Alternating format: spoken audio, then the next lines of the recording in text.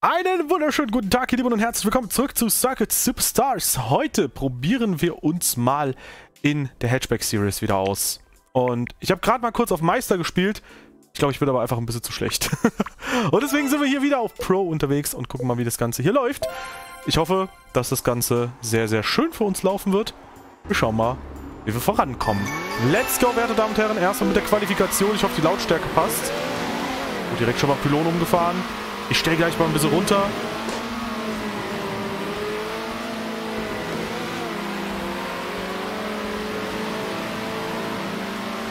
Ja, das Problem ist, bei Meister muss ich halt ein bisschen zu viel tryharden, glaube ich. Nein! Und hier darf ich mir mal einen Fehler erlauben.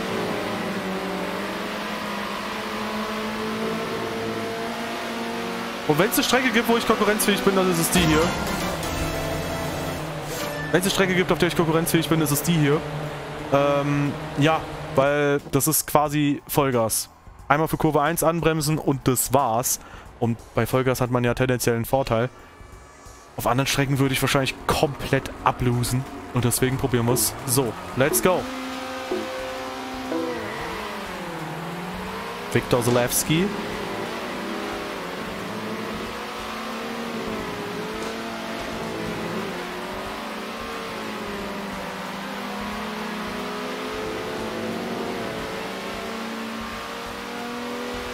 Den kriegen wir nur. Oh, Kurve kriegen wir auch. Perfekt. Heidewitzka, no! Nein, sorry, Victor! Ah, das meine ich. Wenn ich jetzt auf Meister spielen würde, wäre ich jetzt komplett raus. So habe ich noch eine Chance, hier wieder ein bisschen was gut zu machen. Langsamer als beim Rennstart, äh, bei der Runde mit Rennstart gewesen. Aua.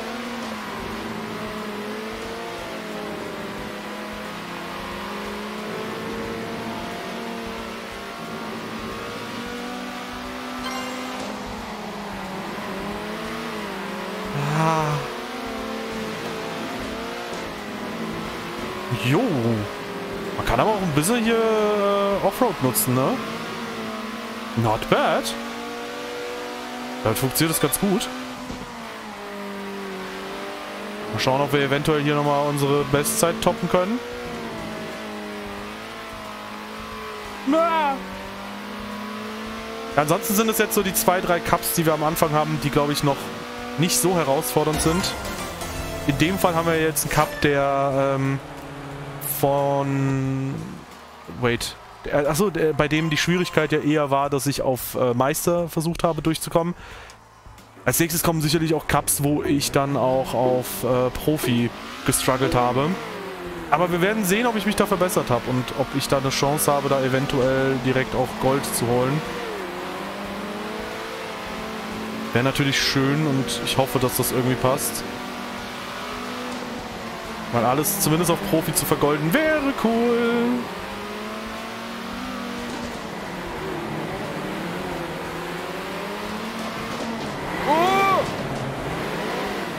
Keine Penalties. Krass. In diesen Szenen wurden keine Autos gefährdet. Oh, da wurden Penalties verteilt. Oh, Lane Brown.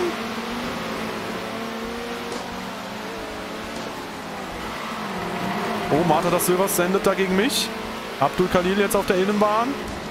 Round die Outside, kriegen wir es hin. Wir haben einen besseren Exit. Und Gabriele Paruzzi. Kriegen wir. Sehr schön.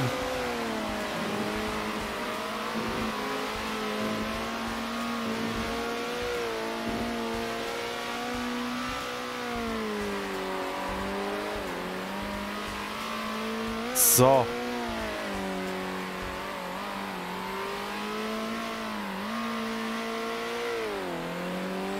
Let's go. Krass. Okay, es liegt glaube ich auch daran, dass das führende Fahrzeug da jetzt nicht direkt hinter mir ist.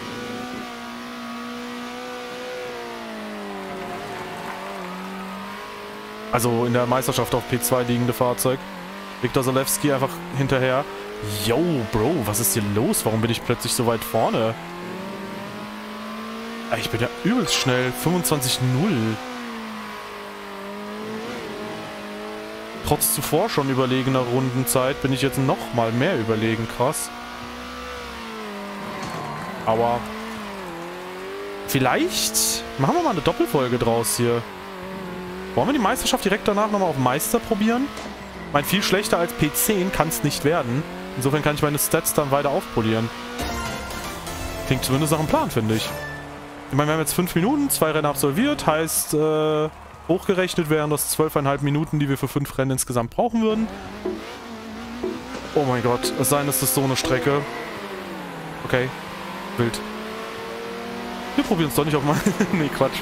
Wir werden es vielleicht mal versuchen. Mal gucken. Aber dann erlaube ich mir auch alles, ne? Dann werde ich senden bis zum geht nicht mehr. So ungefähr. Okay, bringt nichts. Und Marta da Silva ohne Penalty da durchgekommen. Krass.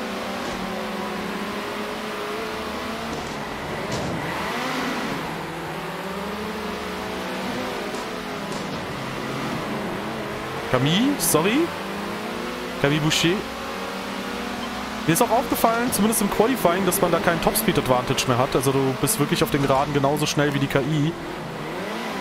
Heißt, äh, dass die KI auf den Geraden langsamer ist. Es liegt durchaus auch daran, dass man äh, niedrigeren Schwierigkeitsgrad hat, dass es äh, Schwierigkeitsgrad hat und dass die KI genau da halt eben äh, die Zeit quasi gegen einen verliert darüber wird das Balancing halt dann erledigt. Ergibt aber durchaus auch, finde ich, Sinn, weil äh, wenn es in den Kurven wäre, dann äh, würde man vielleicht unnötig ausgebremst werden. So auf den Geraden kann es halt einfach irgendwie links oder rechts vorbeiziehen.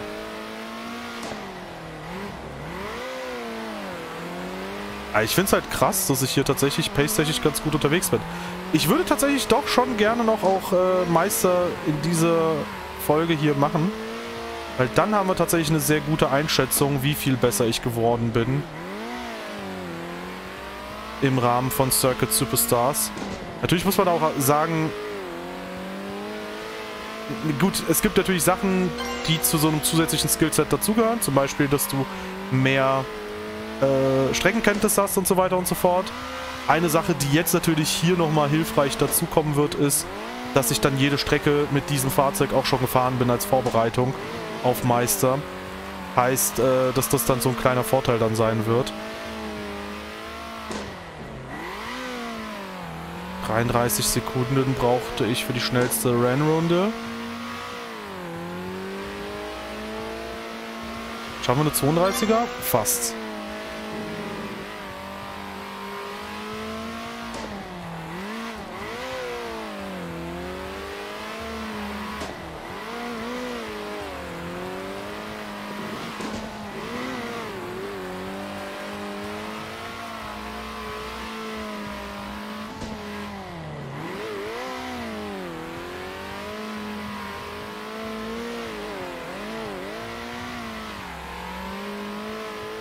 Okay.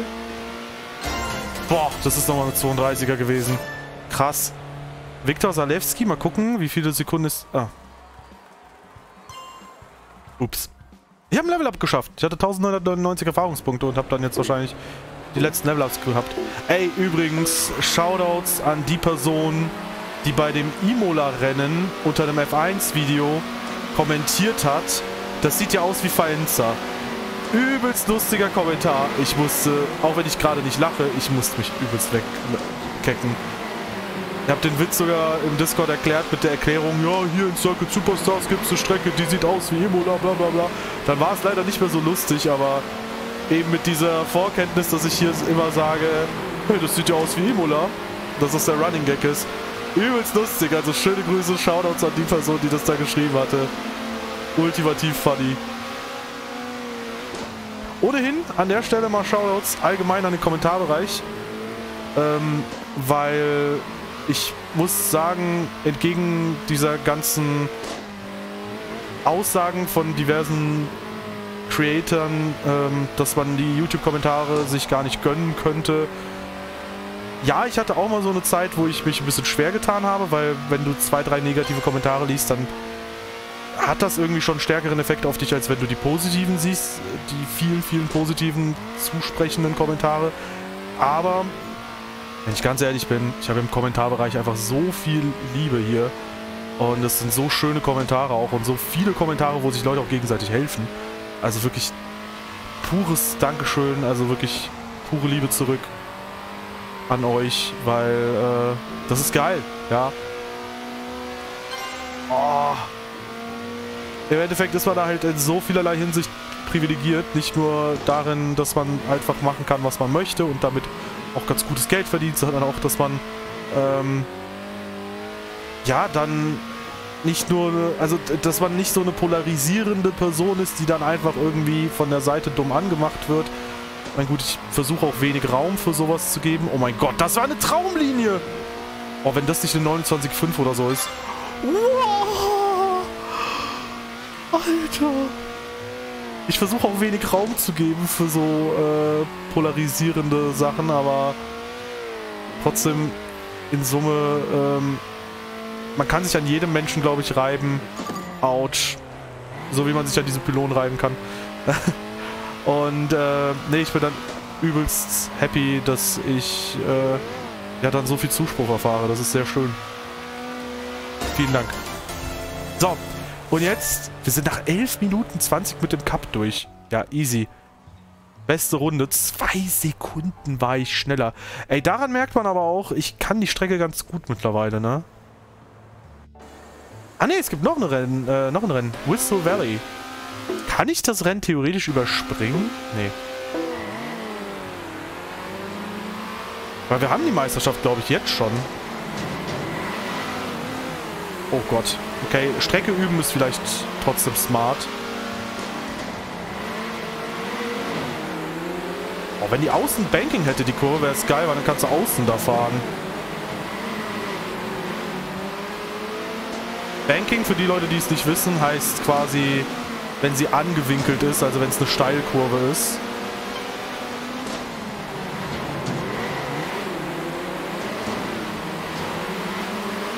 Steilkurven kann man nämlich nochmal extra schneller fahren.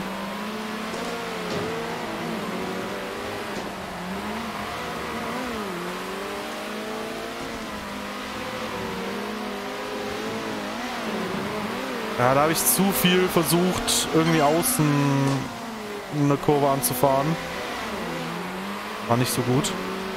So, jetzt wird es besser, glaube ich. Ich kann mir vorstellen, die Strecke wird später noch echt eng werden im äh, Schwierigkeitsgrad Meister. Oh, Penalty.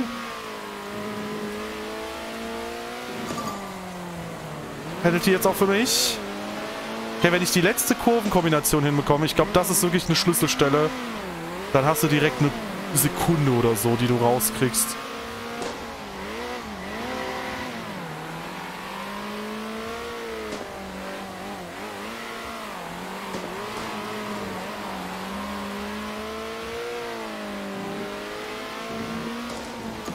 Oh nein! Und wenn du keine Strafe hast, dann holst du direkt zwei Sekunden raus.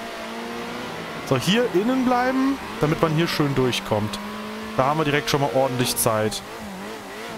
Dann hier recht früh schon pushen. Let's go.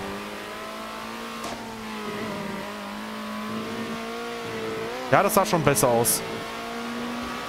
25-4. Nice. Viktor Zalewski am Ende wieder auf P2. Also es ist schon krass, auch wie die äh, Fahrer, die tendenziell stärker sind in den Cups, auch wirklich immer nach vorne kommen. Wait, ich habe jetzt pro Rennen 21 Punkte bekommen. Hatte ich die Pole Position? Weil dann müsste ich doch 106 Punkte gehabt haben. So, Meister. Ich habe mich auf P3 da qualifiziert. Könnte es neu starten. Starten wir mal neu. Let's go. Wieder mit demselben Fahrzeug. Ey, Doppelfolge. Allein dafür kann man mal gerne ein Like da lassen.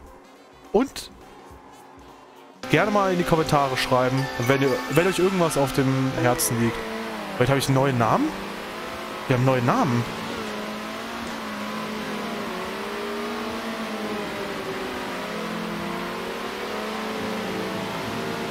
Okay, let's go.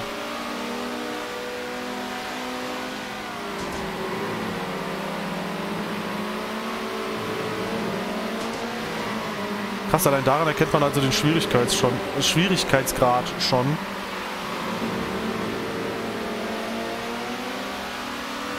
Ja, minimalen Topspeed Advantage hat man noch. 16,8 von Alessandro Galanis. Boah, der hat ein richtig schönes Auto. Gelb ist immer ultimativ schön für Autos. Fast immer. Oh. Hey, Level Up. Fast. Okay. Leute, jetzt wird's serious. P2 sogar im Qualifying. Oh mein Gott. Okay, let's go. Ich bin hyped.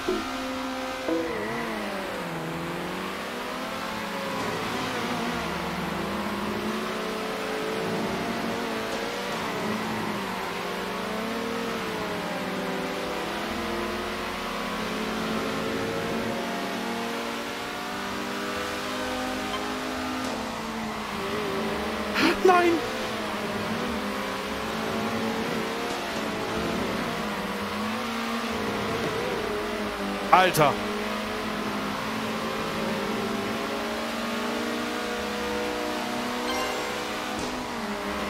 Ja! Ich bin vorne! Ich muss vorne bleiben! Nein! Puh! Karma! Oh, da, da wieder kann man sich! Das ist wahrscheinlich einer von den äh, Ackermanns aus Attack on Titan. Oh Gott. Oh, bitte, bitte, bitte, bitte.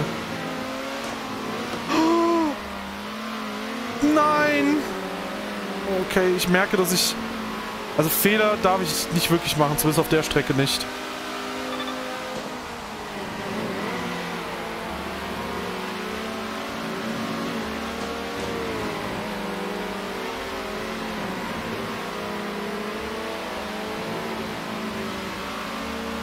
Okay, P2. Boah. Alessandros Galanis hat die schnellste Rennrunde. Boah. Alexandros, nicht Alessandros. Dann haben wir noch Adriana Gonzalez, Kenny Davis, Farid Hashim, Priya Halda, Jelena Jovanovic. Die klang so ein bisschen wie Mila Jovovic. Ich glaube, das ist doch die, die äh, Resident Evil spielt, äh, hier in Resident Evil spielt, oder? Heißt die so? Ich weiß es gar nicht. Egal. Maya Sofa haben wir. Let's go.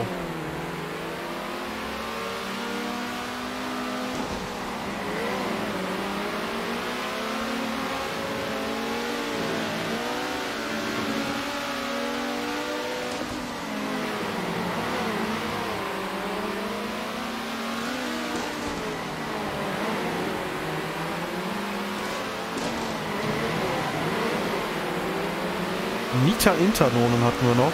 Und Mikhail Palazzola. Daisuke Shimo auch noch. Aber jetzt haben wir alle Namen durch. Oh! Was ist da hinter mir passiert? LOL.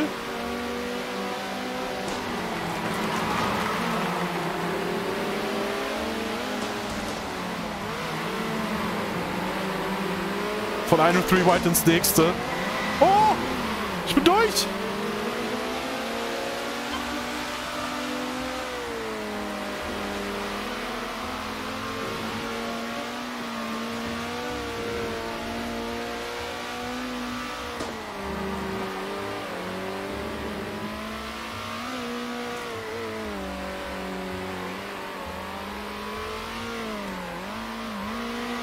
Ey, aber bitte, bitte, Leute, habt jetzt nicht als Forderung, dass ich jeden Cup jetzt auf Meister dann spiele, ne? Bitte, bitte, bitte, bitte. Ich möchte mir nebst diesem Tryhard-Moment hier gerade eigentlich noch den Casual-Moment in Circuit Superstars wahren.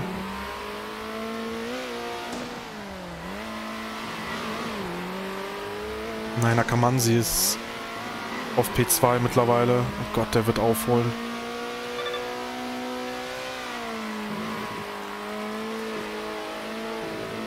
Muss versuchen, unter 25 wieder zu fahren. Hat er, glaube ich, keine Chance dann.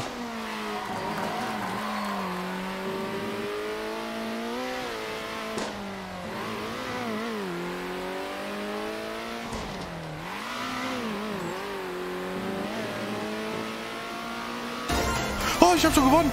Oh Gott, ich dachte, das wäre noch nicht die letzte Runde. Okay. Und die schnellste Runde haben wir auch noch. Alter.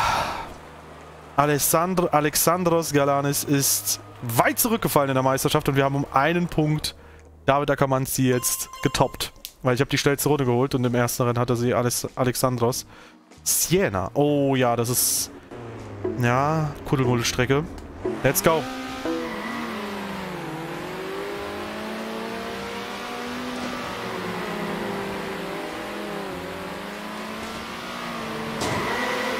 Nein, Karma. Oh Gott.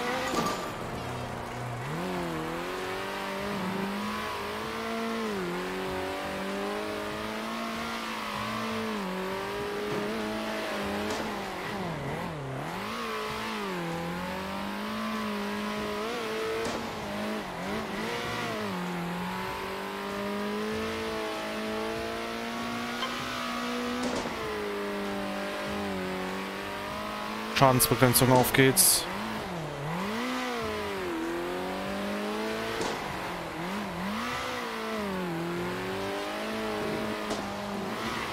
Ey, alles was besser als P10 in der Meisterschaft ist, ist ja schon mal eine Steigerung.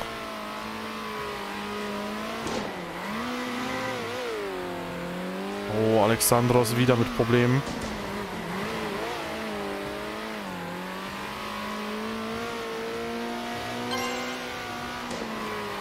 Schnellste Rennrunde.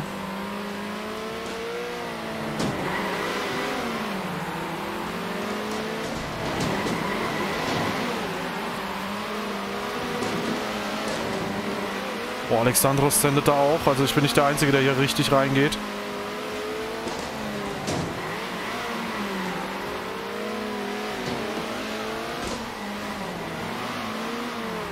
Ich verleihe ihm zwar nochmal extra viel Nachdruck, aber die anderen gehen auch ordentlich rein. 31,9, aber auch das nur, weil ich die ganze Zeit die Gegner als Bande nutzen kann. P4. Akamanzi mit Penalty. Geil. Kenny Davis, geh weg.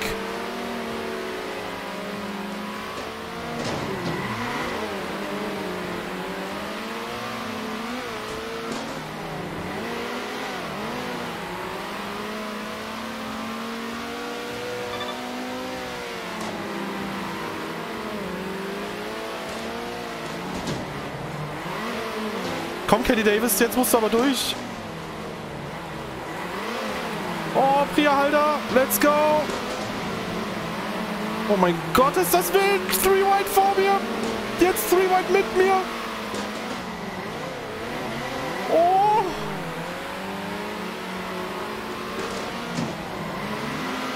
Alter, Kenny Davis gewinnt das Ding. Er hat es zu wörtlich genommen, weil ich gesagt habe, er muss durch. Und damit Akamatzi nur auf P4. Oh Gott, was für eine Aufholjagd und was für ein Finale hier. Boah, okay. Es ist aber auch krass, äh, dass man auf manchen Strecken enorm viel schneller ist und auf manchen geht so. Wir haben 6 Punkte Vorsprung, dann 10 Punkte zu Kenny Davis. Oh mein Gott. Zwei Rennen haben wir noch. Faenza dürfte mein Terrain sein. Terrain. Ja, also jetzt äh, sind wir, glaube ich, schon in der Position, wo wir einen... Alter, die Fehlzündung nochmal. Geil. Äh, jetzt sind wir, glaube ich, an dem Punkt, da haben wir punktetechnisch jetzt schon so viel vorgelegt. Ich glaube, wir sind locker in den Top 5.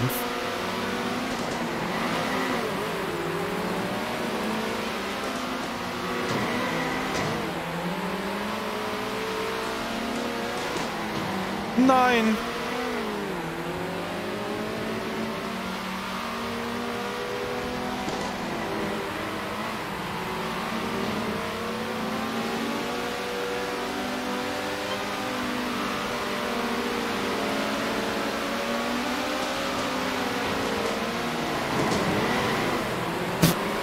Okay.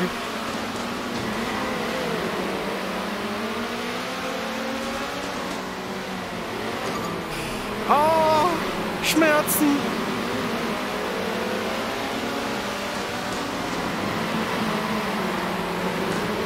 Bin immer noch geghostet, by the way, weil ich permanent mit irgendjemandem Überschneidungen habe.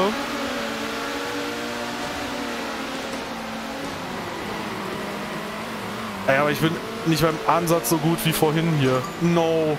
No. Push. Bitte. Bitte. Nein. Alter. Egal, Farid Hashim als Sieger ist mir auch recht. Okay, let's go. Jetzt aber. Zwei gute Runden und wir sind dran. 29,9. Bin ich vorhin so eine gute Zeit hier gefahren? Ich weiß es ehrlich gesagt nicht. Aber ich habe auch wieder Leute als Bremse benutzt, also... Let's go, wir können wieder ranfahren. Einfach nicht doof sein, Dave, dann geht das. Oh mein Gott. Das ist halt schwer, wenn ich ich bin, ne? Mein Gott, ist das dumm. Es ist so dumm, es ist so dumm, es ist so dumm.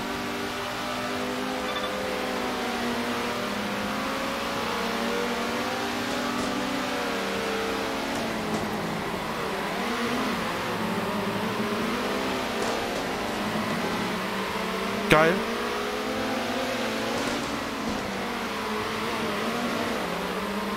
Vielleicht geht da ja sogar noch mal P2.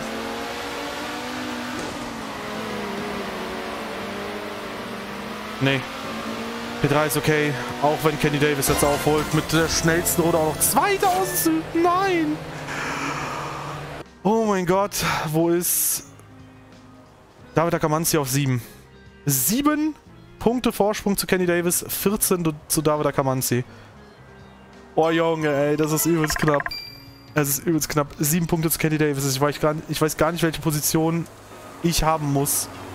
Unter der Voraussetzung, dass er eine gewisse Position hat. Let's go. Fokus.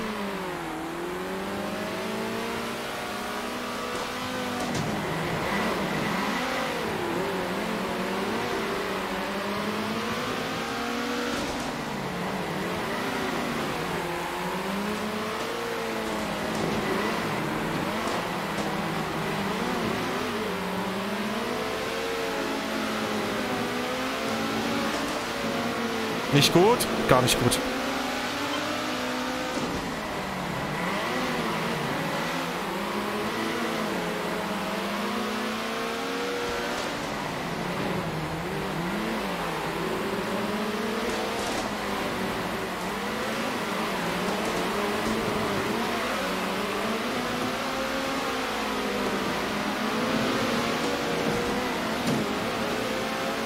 wollte eigentlich Farid da gar nicht reindrücken, aber...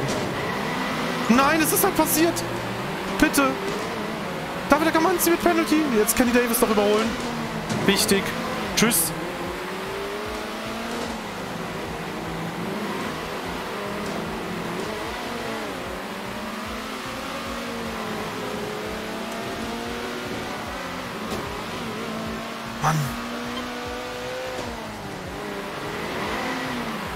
Alexandros.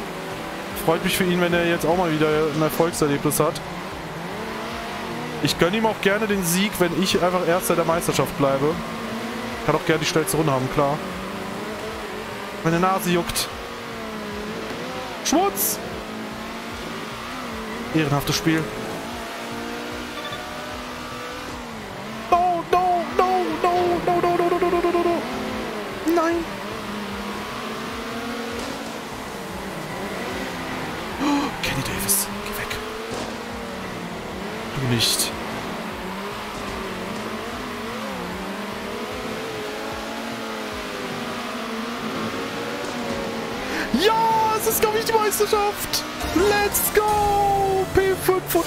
Alessand Alexandros Galadis, schnellste Runde Sieg und 9 Punkte Vorsprung. Alexandros nochmal auf 3 nach vorne gekommen vor David Akamanzi. Und das ist nicht nur Stufe 29, sondern auch...